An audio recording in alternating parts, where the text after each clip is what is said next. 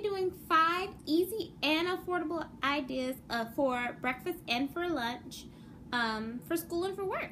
Because let's face it, food is expensive. I seriously went to the grocery store the other day and was thinking about buying a gallon of milk, and I didn't because I looked at the price and it was almost $4. And I was like, oh no, mm -mm, not happening. So that's what I'm going to be showing you today because, you know, you want to save your money. Spring break's coming up, summer break's coming up, and you want to buy some cute outfits and some cute clothes and go somewhere nice. So save your money and let's get something really yummy to eat at the same time. So let's get into this video. So the first thing we're going to be making is the strawberry banana smoothie.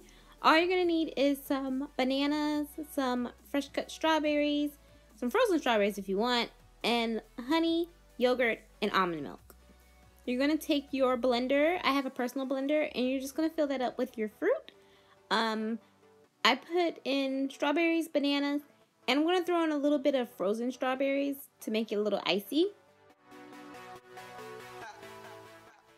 Next, you're to add in your almond milk.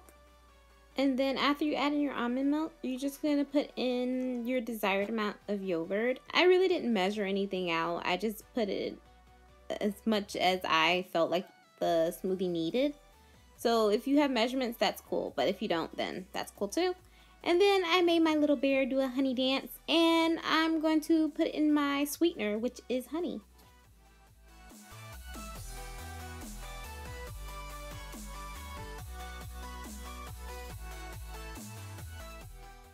Oh my gosh, it was so hard doing this with one hand. But after you're done, this is your finished product. A yummy strawberry and banana smoothie.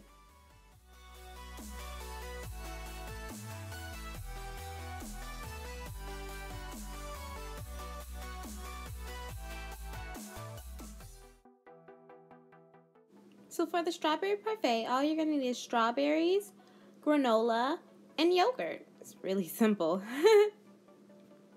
You're going to place your desired whatever you want to put in first. I put in strawberries first, and then I layered it with granola, and then I put more granola, and then I put yogurt on top.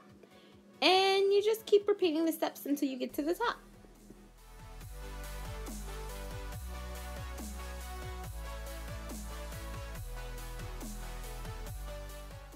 Then after you're done adding your last few layers, it's gonna look like this. Wait, I mean like this. and it's so yummy, you guys. I mean like I could not put it down.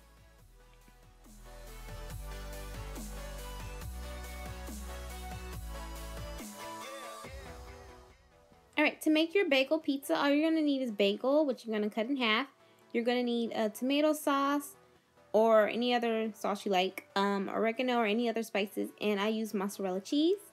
So the first thing you're going to do is basically just spread your sauce all over your bagels.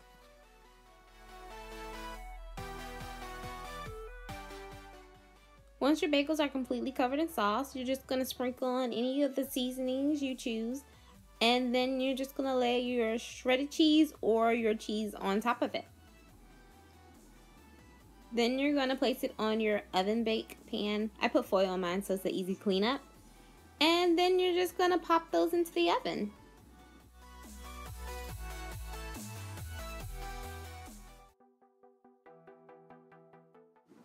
Alright guys, so to make your fruity oatmeal, um, I just got some diced, uh, no added sugar peaches and some oatmeal. And then you know how to make oatmeal. And I just pushed out all the liquid to my peaches. And then I just mixed those two together and bam, you have an instant meal.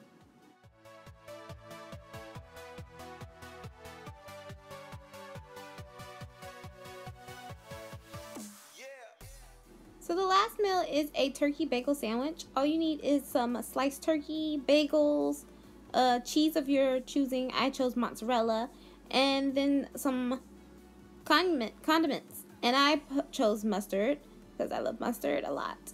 And then you just put your meat on. And you don't have to make it a turkey. You can make it a ham. You can make it a roast beef. Whatever you want. And I just put my cheese on. And does anybody else put their cheese on like opposite directions? Because I do. And then there you go. There's your sandwich. And it's easy for you to take it on the go. It's so yummy. Alright guys, so I really hope you guys like this video. To tell you of my struggles. I discovered granola like two weeks ago, and now I'm addicted. It's so sad. I'm addicted. Granola. Anyways, if you did like this video, then totally let me know by pressing the thumbs up like button so that I know that I should make more videos like this. And if you have any other suggestions or comments, you can put that down in the comment section somewhere down here in this general area below. And I will totally try my hardest to respond to you. Usually it's on the weekends because I work full time. So, ooh, I don't know why I just clapped that loud. So sorry. Um, I did it again. Okay, whatever, Brianna. Just keep on clapping. Um, but yeah. And so I was totally trying to respond back to you guys as soon as possible, but most of the time is on the weekends because I work a full-time job. But yeah, I really hope you guys like this video, and I really hope it motivates you to make your own lunches and breakfast and meals, period. And yeah, that's it. That's it. That's the end of this video. I don't have anything else. Love you guys, and I will see you guys soon.